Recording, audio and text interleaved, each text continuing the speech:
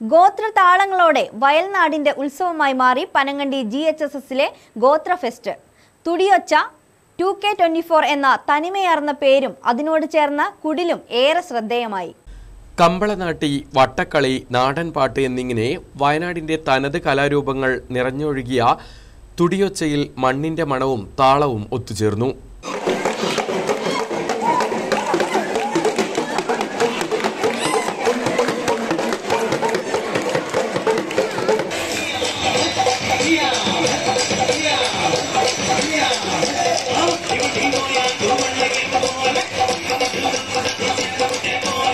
ജൈവ കർഷകനും സാംസ്കാരിക പ്രവർത്തകനുമായ പള്ളിയറ രാമൻ മുഖ്യപ്രഭാഷണം നടത്തിയ തുടിയൊച്ച് മുട്ടിൽ ഗ്രാമപഞ്ചായത്ത് മെമ്പർ വിജയലക്ഷ്മി ഉദ്ഘാടനം നിർവഹിച്ചു.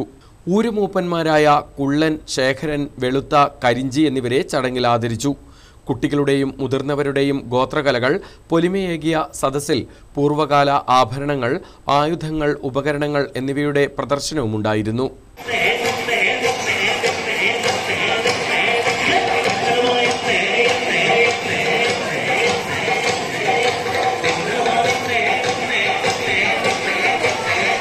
പങ്കെടുത്ത എല്ലാവർക്കും സമ്മാനങ്ങൾ കൂടി നൽകിയപ്പോൾ നന്മയുടെയും ഒരുമയുടെയും പല കഥകൾ ഓരോരുത്തർക്കും പറയാനുണ്ടായി.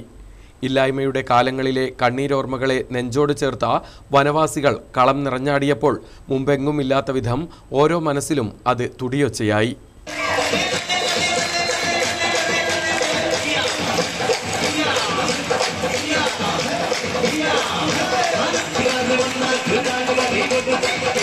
Nasar Kakkavayal news bureau Meenangadi.